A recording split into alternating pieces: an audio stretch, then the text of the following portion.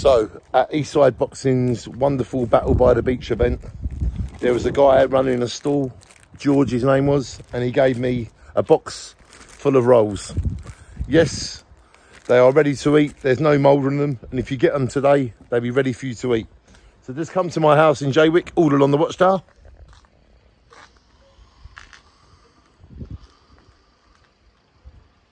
And come and get yourself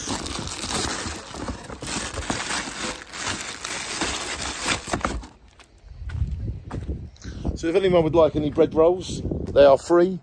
They are outside my house. And um, there they are. So please, just come and help yourself to some lovely, lovely bread rolls. If you would like them, they are free and they are for you. Dylan's going to not eat them. So there's all the bread rolls. If you would like any of these lovely bread rolls, please come and get them. Thank you to George.